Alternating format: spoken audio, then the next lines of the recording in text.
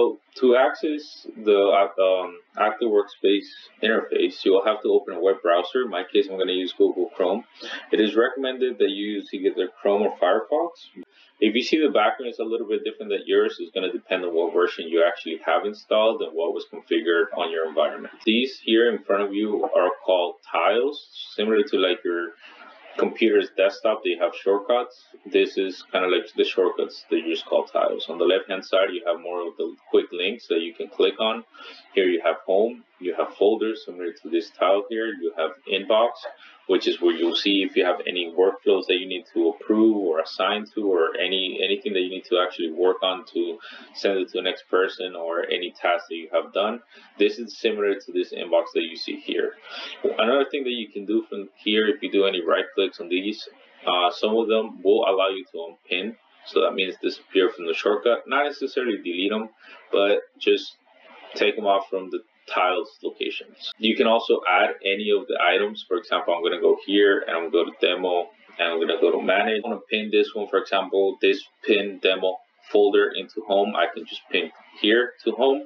Now when I click on home or when I first come in here all the way to the bottom, now you can see my folder pinned here. Again, you can do a right click. You can change the size of the folder. You can unpin that folder. So that's another way that you can access any of your things right away. If you want to pin anything, just creating like a shortcut. So you'll be creating a tile. The next thing I'm going to show you is that once you log in, you see this here, uh, or maybe you don't see it at all. When you click on this person on the bottom left, number one, you can see what is your username that you're in, or projects if you have any. There's a drop down menu here if you're assigned to any projects. There's a groups similar to the projects. There's roles similar to the same way they used to do in the rich client. When you go in the rich client, for example, you're accustomed to go to the top, click on, on your user here, and now your user settings will appear. You drop down menus where you can choose what group and role you want to be in. Not only that, you can also change your password here as well, and I'll show you in Active Workspace. It's very similar, and you have the same functionality. So what I like to do in my end is I like to have the little have the little bar at the bottom and I can always change groups and roles depending on what I'm working on right away. Any projects, the same thing. This is just a little a quick way of having this here. Another thing that you can do is when you click on the little bottom left little character here, you can ping this to the left hand side if you feel more comfortable to have this always here appearing and you can always leave it there. I don't I, I prefer again the bottom part. I'm gonna on click here. If I go and I click on my name, just like I would in the rich client, you can edit your profile, you can add a picture, but as same as before, you can also change your password. So if you go to manage and change passwords, here's going to ask you for the same information, your current, your new password and to confirm. In here, very similar to like the rich client, you have access to your profile. You can make modifications. If you say edit and start editing, then it's going to allow you to do drop down menus and same thing as in the other location, in the other rich client application. Do edit and say cancel. If I did change something and I want to save it, then I'll say save edits. The thing I want to show you guys, if I go home and I go to my folders. My folders is similar to your home, right, in the Rich client. And you'll see all the folders that are part of your home folder in the Teamcenter Rich client. In my case, it's just called folders. I'll see all of my new stuff, my mailbox, and if I go into demo, here it says to navigate. So once I go to demo, I can always open any of these parts and look at them close uh, with more details, just like I would be doing in my summary page. So for example, this here test A 00094, this is revision A. If I click up here, just just hover, it says open. So now that I click open, now I can see everything that is inside my revision A00094. Some of the properties that some of you guys would see in the summary page. Here's a preview. Preview is a very good tool that you can use. Not only is it going to let you preview, but it's also to can allow you to make markups depending on the configuration that you have. Some out of the box installations do not allow you to do markups, but some will. So it depends on the licenses that you currently have. So for example, if there's any markups here, I can just click show markups. If there's anything here, for example, this says approve, it'll show what mark, who did it. Again, if I just hover around it, it's going to tell me for a quick second. So Alex Smith did it on February 3rd. Right? So the same user that I'm using right now. If I actually want to create any markups, I can click on markup panel. I can either, for example, delete here and say delete. Maybe I want to put a stamp that says draft because for now it's just going to be draft. So I panel stamp, uh, stamp panel, click on draft, double click clicking it here and now it appears there. So here, for example, maybe I want to do a, a highlight markup say management, I want to highlight it. Not only is it going to highlight it, it's going to put a date to it, and I can put a comment. Say review. Make it public, say create. And now if I want to look at it, it says review at the bottom. That's my comment. How is this helpful in PDFs, but there's other place, other things that you can do in here. The next thing that I want to show you is the next preview. It's just kind of like a preview of the picture of, of the item that I'm looking at or the model that I'll be looking at. Now, if I drop down a little bit more, if you have any other more, if it belongs to any projects, it will appear here. Have any licenses that have been used for this item, also here. But any other, you can populate this with more properties as you could customize your own Teamcenter. I want to show you, for example, 3D version. If I go to 3D and I have a JT file, my visualization components are running in my corporate server or wherever those visualization components are. I can actually view this without opening it in NX. So here I'm just rotating the parts. As you can see, the function is just the same. Let's say I want to do some measurements, right? So if I go to viewer options, my right hand side, I can pick the units that I want to use or anything else that I want to use in here.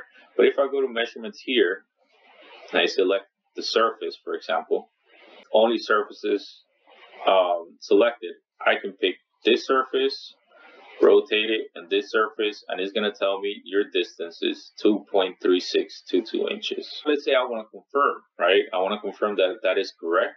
I can also go to edges, turn off surfaces. Now I can pick this edge, pick this edge, and now as you can see, it's going to say, okay, from that edge to that edge, that is my distance. Is these are some quick measurements that you can do.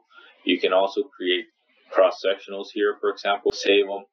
Uh, in this case, I created this one. I zoom out, I can move in my cross sectional, see where the measurements have been taken off as well. But here you can either reduce it or increase this, the, the cross sectional that you're looking at you, it, it's going to be saved automatically, but you can always delete it if you want to, uh, anything like that. Again, this is just a quick that you can use to view any parts, anything like that, that you want to make sure that it's okay. Here's your sections. If you created multiple ones, you can use them here. You can also delete them. Attachments is the same thing as you, you would see on your Rich client. Here you can see that there's a direct model, there's a UG master, there's a Word document in revision 8, and there's a PDF. We can review it here. The Word, you'll have to open it if you have Word um, in, in, installed on your computer. And these are this is the NX, and this is the direct model that you would see through NX uh, the 3D version. In any workflows before, if this is already part of a workflow or anything like that, you can check you can also check what parts is on right now. So right now is selecting sign off team by A Smith, for example, but this is only for for purposes of, of the demo. Check where used, similar to the rich client. Currently this is not being used anywhere.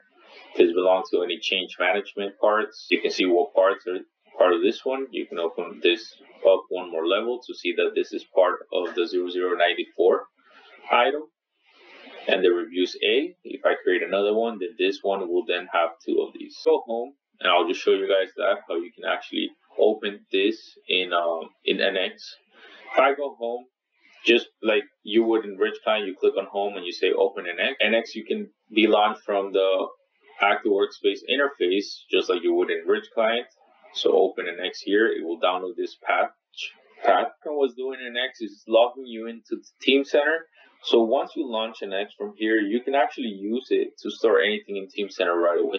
NX is open. You can see what you have here in like recently used or histories. Here is the active workspace. Same interface that I showed you before. And here's your Teamcenter rich client interface. So home, double click, you'll see the folder structure, the same as the rich client. You can actually use this active workspace interface to do absolutely everything that you can do in your in your uh, web browser. So you don't always have to open NX, but if you don't open NX this way, you will have to open it through a batch file that has to be created on your desktop. That's going to call all your Teamcenter attributes and environments and set them up that you can actually log in with your username and password, and then automatically your Teamcenter will be also associated with the NX session that you have opened. Again, your your sessions would be for Teamcenter. As you know, it, the licenses will be attached to your username. These are not floating licenses. This is username uh, license, pretty much. So NX, you can open it anywhere. You can open as long as you have floating licenses, and they're associated with a compute uh, with the network. If you have you don't have floating licenses for NX, then you know uh, you'll have to open it somewhere that you have a license. I'm going to show you, for example, I just opened NX.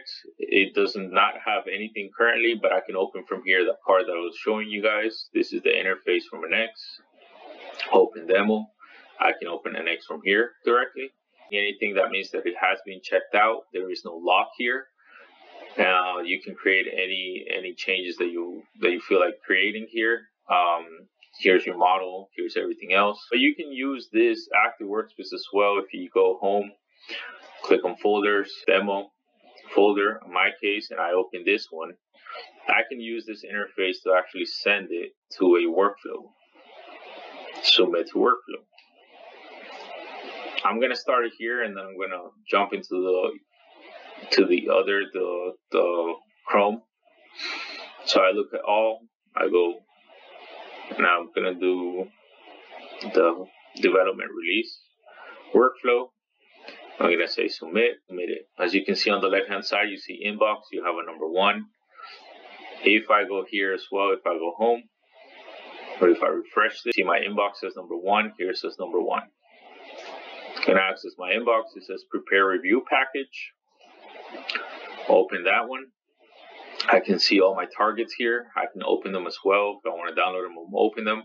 Or if I want to view them, I can view them from um, here as well. I just have to double click and go to a specific one.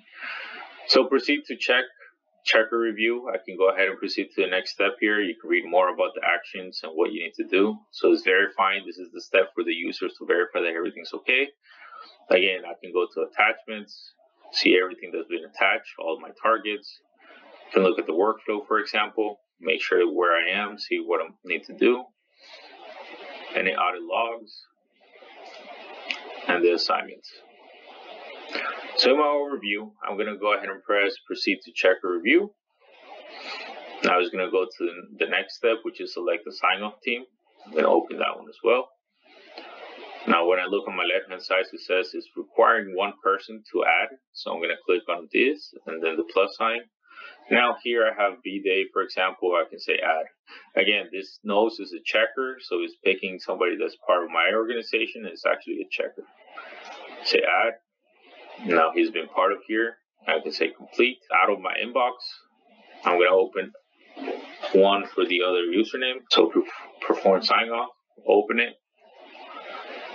Here are all my targets. Again, you can preview things here. You can show markups to see what has been what has been done here in this approve. Now it's out of my inbox. If I go back to the other, I go home, go to folders, and now if I go to demo, now you can see this one has the checker flag that's been, that has been approved in my development workflow. So if I open here, you not only that, but you can see the checker flag up here as well, and you see the status release. Whereas you would in your rich client, Again, if I open my Rich client and I say view and I refresh the window, if I go to demo, as you can see, you can do everything you want to um, that you were accustomed to do in the Rich client. In the other location, there's a lot more features, a lot more things that you can do, but this is just a simple basic um, demonstration of Active Workspace and how it's compared to the Rich client. Thanks for checking out our channel. If you like what you saw, make sure to like and subscribe down below so you don't miss out on any new videos. Follow us on LinkedIn, Facebook, and Twitter for the latest engineering news and information. And to see all of our upcoming events, please visit our website at saratech.com/events.